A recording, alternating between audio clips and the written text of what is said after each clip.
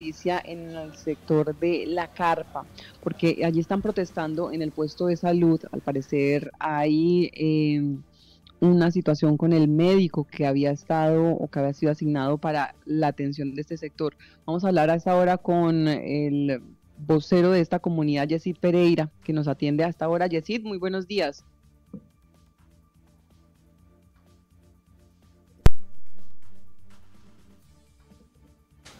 Sí, Yesid.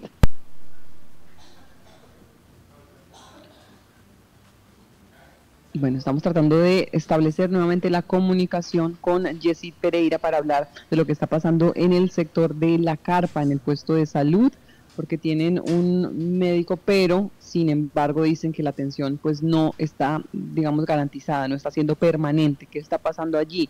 ¿Cuáles son las incomodidades y lo que hoy están denunciando? Vamos a ver si ya tenemos comunicación con Yesid. Yesid, ¿me escucha? Eh, Laurita, muy buenos días. Un saludo muy especial para usted, para toda la mesa de trabajo de Marandúa, pero también un saludo muy especial para toda la audiencia de Marandúa en el departamento del Guaviare y Sur del Meta. Gracias, Yesid. Cuéntenos qué está pasando allá en el sector de la carpa con esta atención médica. Bueno, Laura, lo que pasa es que estos días nos dejaron los médicos, por, por cuatro días nos dejaron el médico hacer una, una, una brigada médica acá en, en la inspección de la carpa, pero desafortunadamente por tantas pacientes que tenemos, el señor médico pues no ha tenido la oportunidad de evacuar a todos los pacientes que hemos tenido. Entonces, hoy a, las 5 de la mañana quedaron de venir a recogerlo para llevárselo para Colinas. Creo que en Colinas también va a haber una brigada médica. Entonces, hoy la comunidad nos organizamos pues para decirle que no estamos de acuerdo, que no compartimos, que se nos sigan llevando el, el, médico que es de planta de, de, aquí de la comunidad del puesto de salud de la carpa. Entonces, hoy le estamos diciendo, no estamos de acuerdo.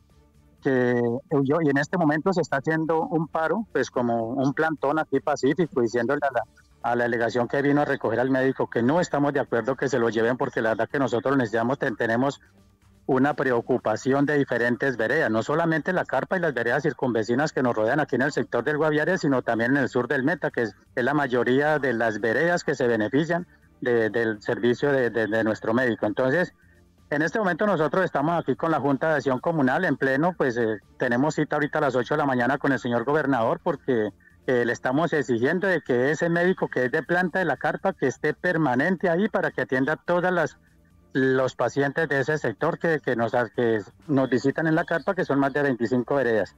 Entonces, esto es lo que está sucediendo, un plantón totalmente pacífico, donde estamos exigiendo la presencia permanente y que nos doten de, de medicamentos, lo que es el puesto de salud, Laura. ¿El médico cuándo había llegado, Yesid? ¿Me confirma, por favor? ¿El médico cuándo había llegado a la carpa? Bueno, el médico estuvo desde el viernes haciendo, haciendo consultas, estuvo el viernes, sábado, domingo y ayer lunes, pero hoy ya lo iban a, recoger, entonces ahí es donde estamos exactamente.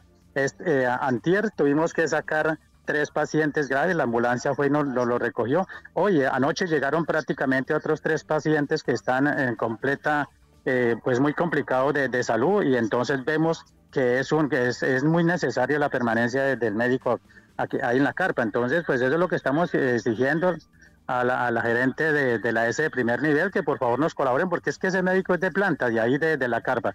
Y hoy en este eso le quería... ¿Por qué es de planta? Con el señor gobernador. Señora.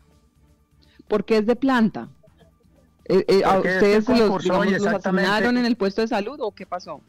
el concurso y él se ganó directamente ese puesto para trabajar en la carpa. Lo que pasa usted es que la ese primer nivel nos lo quita para venir a atender aquí al, a San José y para ir a, diferentes brigadas médicas en el, en, en el sector, por lo menos lo que es Colina, lo que tiene que ver con, con Cachicamo, bueno, otras, cuando hacen algunas brigadas médicas, entonces siempre lo llevan, pero se lo llevan y nunca nos lo regresan. Entonces, de la única manera que lo regresan es cuando nosotros como Junta de Acción Comunal protestamos y es de la única manera que lo Entonces es decirle, y hoy nos vamos a reunir con el señor gobernador para decirle que este médico tiene que, permanecer en la carpa porque es que tenemos eh, el personal suficiente para que él los atienda.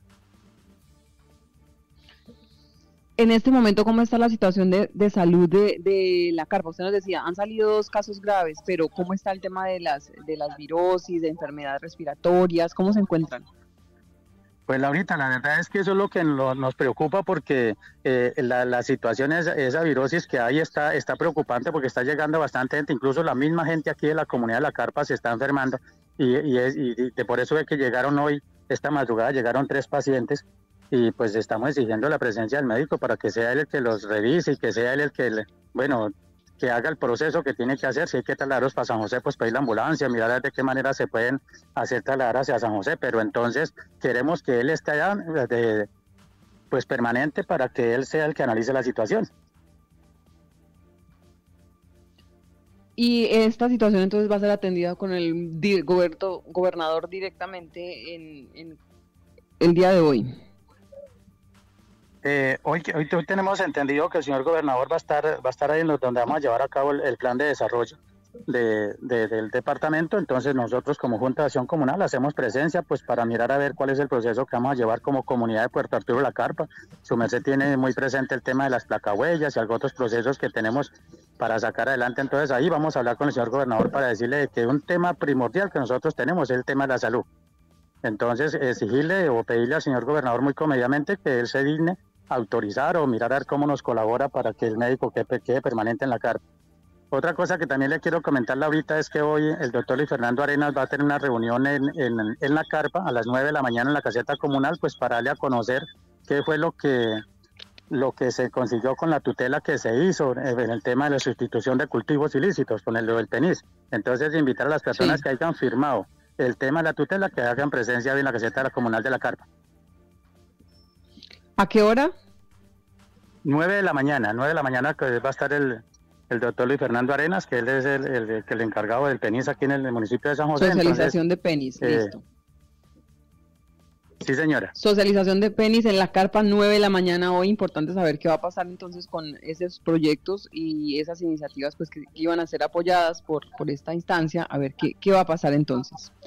Pues quedamos pendientes, eh, Yesid, de ver qué respuesta les dan a ustedes con el tema de la atención médica en el sector y también hoy la participación que tengan en la construcción del plan de desarrollo. Listo, Laurita, muchas gracias. No, pues eh, mañana le, confirmo qué, fue la decisión que tomó el señor gobernador, porque la verdad que nos preocupa el tema de la salud y necesitamos el médico permanente en, en la expresión de la carpa.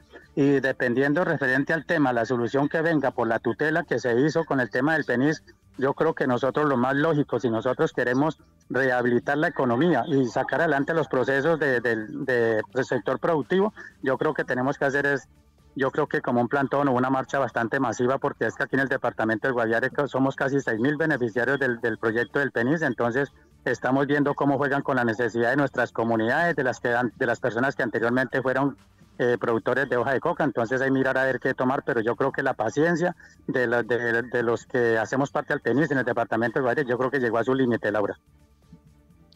Bueno, pues vamos a, estar ahí muy pendientes y atentos. Yesid, gracias por estar con nosotros.